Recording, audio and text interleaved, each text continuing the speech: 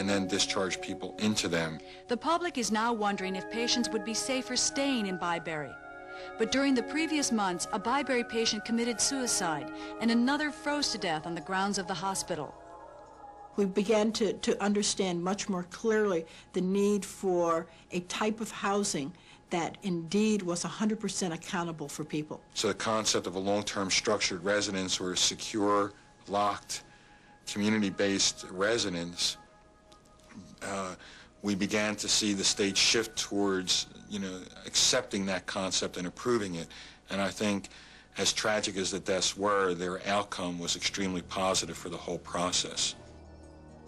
Byberry sits in limbo, neither open nor closed. The 200 remaining patients are neglected. The skeleton staff are so overworked that actual therapy has ceased to exist.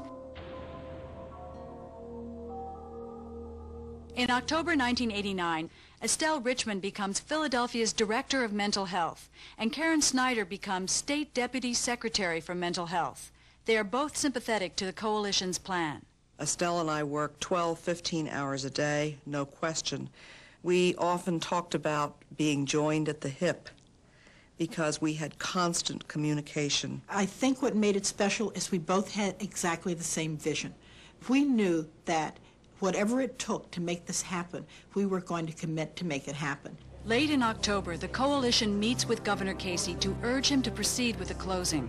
I made a very compelling argument for why the governor, in changing his mind, would lose, have, lose all credibility. And I tried to say to him that, uh, that, that it was a courageous thing that he did, was doing, and he should continue to be courageous. But by the time it got to me, I was like, you know, you've got to do this and you've got to give us the money. And, and the tears were running down my face, at which point the governor came around his desk and put his arm around me and he said, we're going to do it, Loretta, and we're going to do it right. With the coalition, Karen Snider, and Estelle Richman working closely together, the tide begins to turn.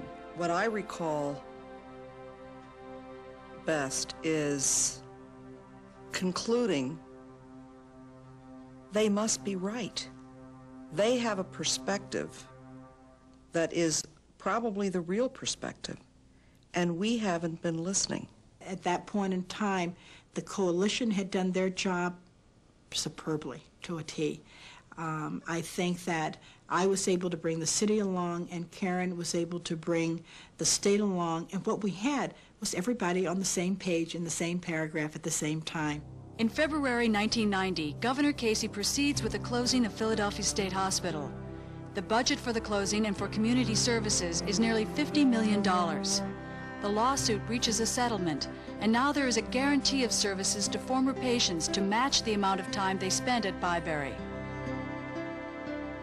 Finally, on June 21, 1990, Byberry closes forever.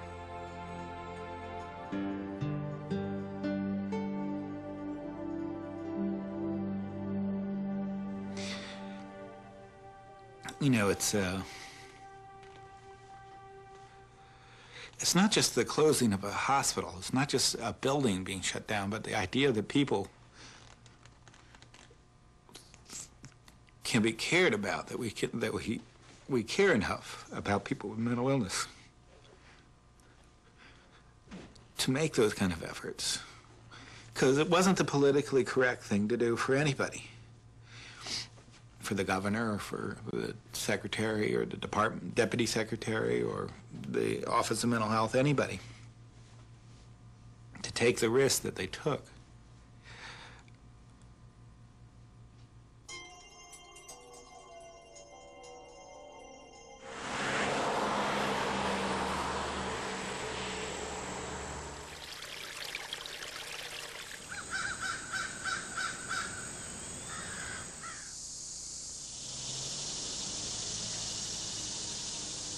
This is Seasons, the first long-term structured residence, or LTSR, in the world. The people who live here are those that even the experts said couldn't make it in the community. It's a, it's a really beautiful place to be in. They have grounds and, you know, and it's a fun place to be at instead of being in a hospital and an institution locked in. Yeah, the setting helps because you can concentrate on your problems and get yourself together instead of concentrating on um, all the things that um you know bug you in different places. You know.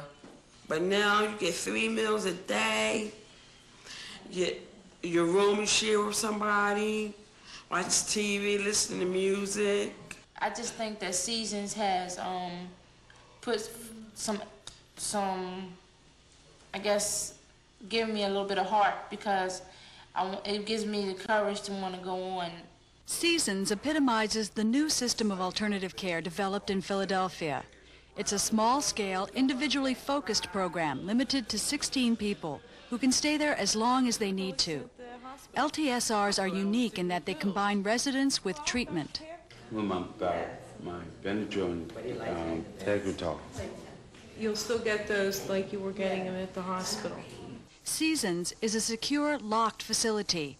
It is intensively staffed, including a nurse, 24 hours a day. A psychiatrist and a psychologist are assigned to the program. The staff are well paid and better trained, and each resident has many layers of supervision to guarantee his or her well-being. In addition to site staff, each resident has a community treatment team, which provides intensive case management 24 hours a day, seven days a week. She has done a great job with me. She's been there for me. She's, you know, she helps me out in, in whatever ways I need. Many case managers are former Byberry employees who also made the transition into the community. we keep a close enough eye on them that, that we can usually observe them and talk them into treatment that they might need. That prevents the long-term hospitalizations that, that people would have other, otherwise needed. And do you have people to come and visit you here from other sites? Yeah. You do? You have Another level of supervision is the consumer satisfaction team, staffed by consumers and families in paid positions, who monitor the quality of care in each facility. For the first time in history, the money followed the clients into the community. And the money is better spent because now the system serves thousands instead of only hundreds at Byberry. More people are employed in this system, and Byberry workers didn't lose their jobs once the hospital closed. But best of all, people with severe mental illness now enjoy a better life. In this kind of setting, failure means only that a resident has to be hospitalized for a short spell, far better than the